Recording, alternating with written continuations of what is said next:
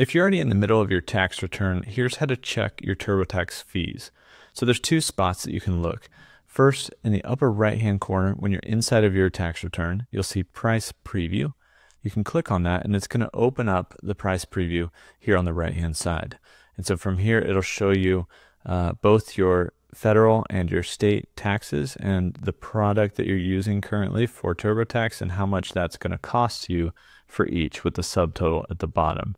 Now this same information is available in the tools area. So if we go to tax tools here on the uh, left hand side and we kind of drop that down, there's a tools area.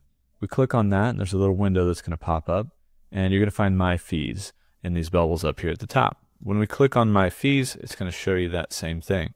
So you got the TurboTax free edition or maybe your premium or maybe you're on the live assisted or something like that. And then if you've started your state return, whatever price that's going to be, it's kind of the same subtotal here at the bottom.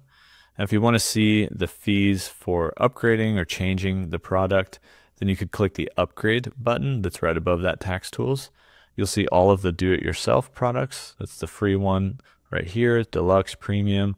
Uh, there's even a standard one that you could be on.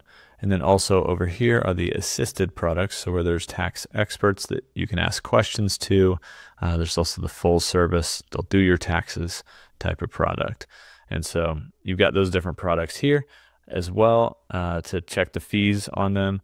And if you were to upgrade to them, that's the fees that would show when you look at your price preview or when you look at my fees in the tax tools. That's how to check your TurboTax fees.